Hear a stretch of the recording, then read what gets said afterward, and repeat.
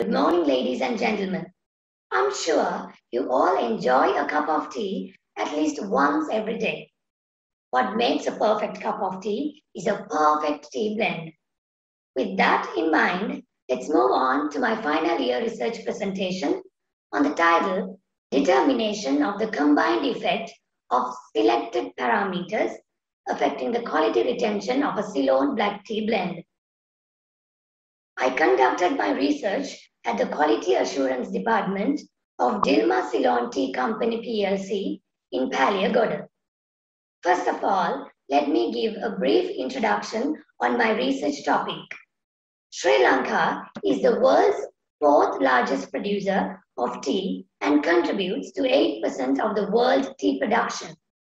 Tea cultivation is one of the main sources of foreign exchange to the country and it contributes 1.2% to the GDP. Here, I would like to discuss the importance of my research. The researchers done in Sri Lanka on the quality retention of black tea blends have only targeted the effects of individual parameters. Thus, this approach has been proven unsuccessful, leading to quality alterations. Developing a tea blend by considering the combined effect of these factors at the development stage itself is an emerging trend of the current global tea industry. Thus, this can be applied to retain the quality of Ceylon black tea blends to improve their value chains, targeting the export tea trade. The overall objective of this study was to determine the combined effect of the blending formula, elevation and moisture content of incoming tea, and the storage condition of the end product on the quality retention of Ceylon black tea blends instead of studying their individual effects separately. The specific objectives were to determine the final values, differences, and patterns of variation in moisture contents and water activities of Ceylon black tea blends subjected to different treatment combinations. To determine the consumer preference for Ceylon black tea blends using organoleptic evaluation and to assess the total color of Ceylon black tea blends using UV visible spectrophotometry. The methodology of the study. Here I have included the individual parameters taken into consideration in this study. Two levels for each parameter were taken into consideration. T were collected from two elevation levels, thus low-grown tea and high-grown tea were used.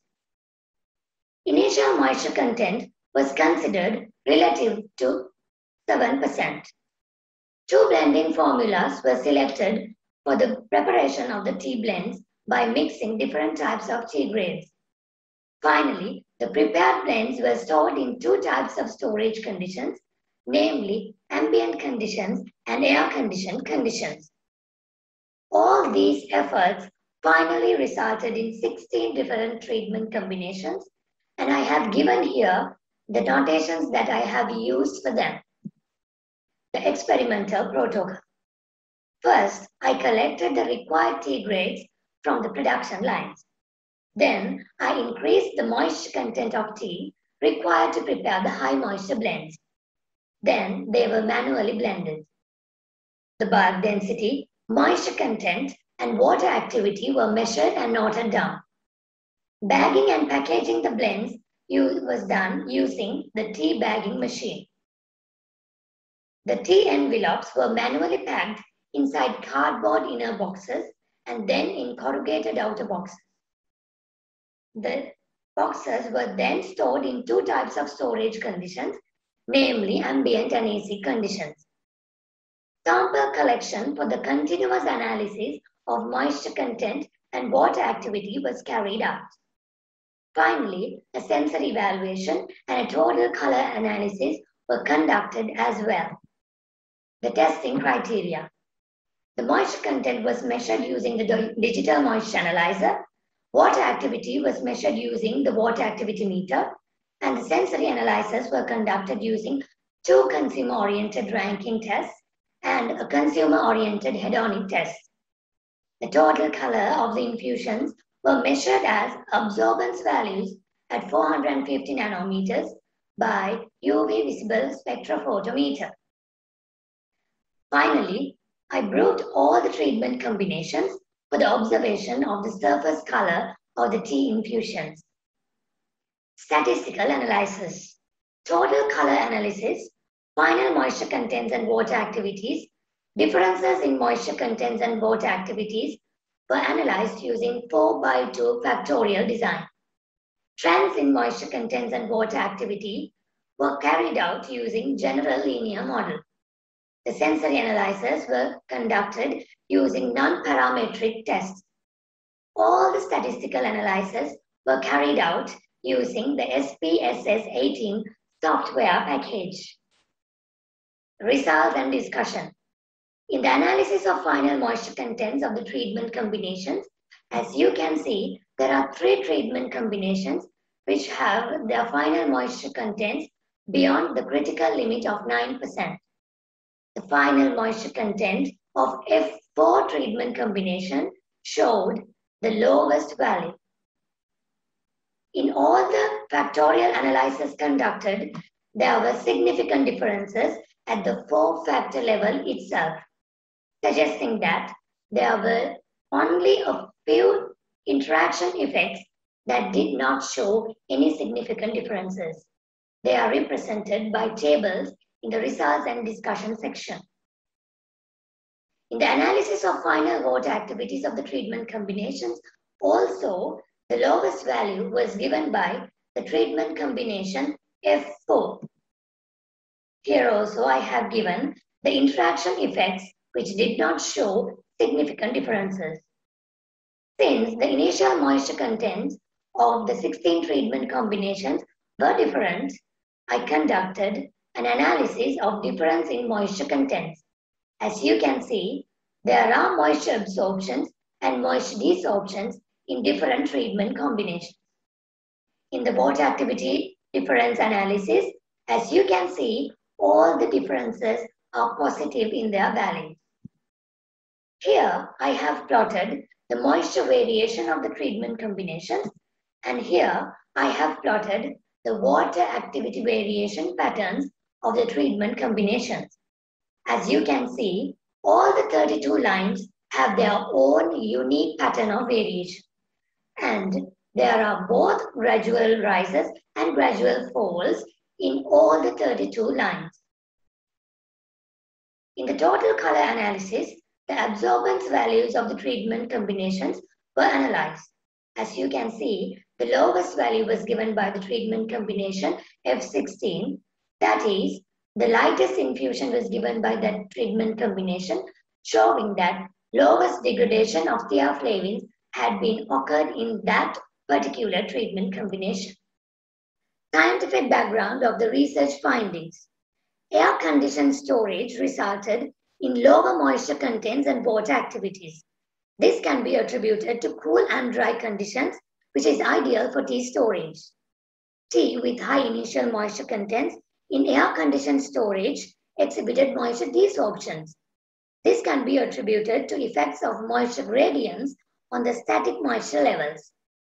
Higher proportions of BOPF resulted in lower moisture absorptions, owing to lower surface area of the particles. Higher proportions of dust 1 resulted in darker infusions owing to the high surface area of the particle. The sensory analyzers. The first two sensory analyzers were conducted as consumer-oriented ranking tests. In the first sensory analysis, which was conducted using treatment combinations at ambient storage, the best treatment combination was the one that I have represented in blue color line. That is high grown, low moisture formula 1 at ambient storage. In the second sensory analysis, which was conducted using the treatment combinations at AC storage, the best treatment combination was the one which I have represented in the yellow color line that is low grown, low moisture formula 1 at AC storage. In the final sensory analysis, which is a consumer oriented hedonic test, the best treatment combination out of the 16 treatment combinations was the low-grown, low-moisture Formula 1 at AC storage. The results can be influenced by the color component, where low-grown teas and small particle sizes results in darker infusions. The conclusion of the study. Tea, being a hygroscopic food material, water activity and moisture content are the most important parameters to decide on its final quality. In the analysis of final moisture contents and water activities, high-grown low moisture formula 2 stored in AC conditions gave the lowest values. In the analysis of difference in moisture contents, moisture desorptions and moisture absorptions in different treatment combinations were observed. In the analysis of difference in water activities, the treatment combinations having lower differences had higher final water activities. In the analysis of trends in variation of moisture content and water activity, both gradual rises and falls in the trend lines were present. In the sensory analysis, the best combination was low-grown, low moisture Formula 1 stored in AC conditions. In the total color analysis, the low-grown, low moisture Formula 2 in air-conditioned storage gave the lightest infusion. The results of each analysis is unique and is attributed to the combined effect of all the four parameters selected. Most importantly, those combined effects cannot be evaluated by taking account of the cumulative effects of the single parameter variations separately. Recommendations. To understand further variation in moisture contents and water activities, it is worth if these treatment combinations can be stored for a longer period and studied further. Here are the key references I use for the preparation of my thesis. And with that, I would like to conclude my presentation. Thank you very much.